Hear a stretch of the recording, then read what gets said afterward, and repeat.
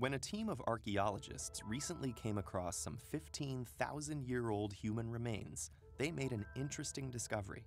The teeth of those ancient humans were riddled with holes.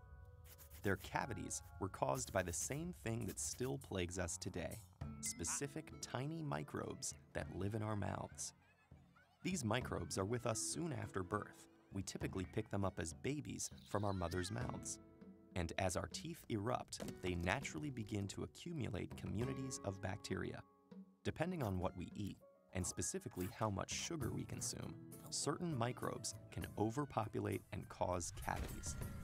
Diets high in sugary foods cause an explosion of bacteria called mutans streptococci in our mouths.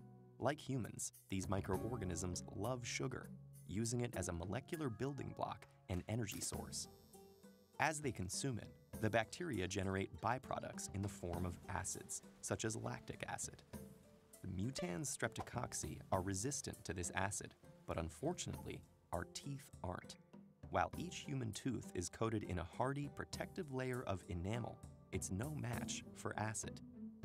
That degrades the armor over time, leaching away its calcium minerals. Gradually, acid wears down a pathway for bacteria into the tooth's secondary layer called the dentin.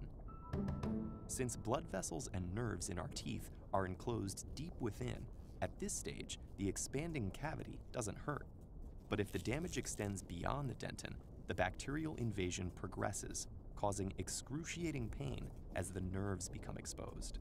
Without treatment, the whole tooth may become infected and require removal, all due to those sugar loving bacteria.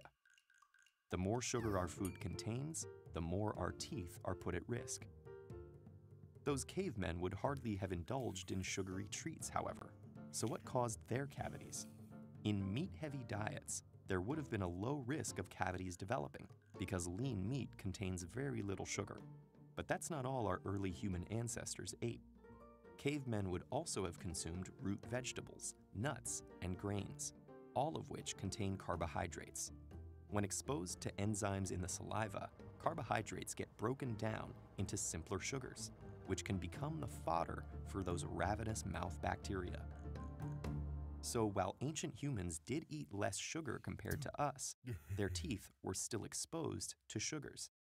That doesn't mean they were unable to treat their cavities, though. Archaeological remains show that about 14,000 years ago, humans were already using sharpened flint to remove bits of rotten teeth. Ancient humans even made rudimentary drills to smooth out the rough holes left behind, and beeswax to plug cavities, like modern day fillings. Today, we have much more sophisticated techniques and tools, which is fortunate because we also need to contend with our more damaging, sugar guzzling ways. After the Industrial Revolution, the human incidence of cavities surged because suddenly we had technological advances that made refined sugar cheaper and accessible. Today, an incredible 92% of American adults have had cavities in their teeth. Some people are more susceptible to cavities due to genes that may cause certain weaknesses, like softer enamel. But for most, high sugar consumption is to blame. However, we have developed other ways of minimizing cavities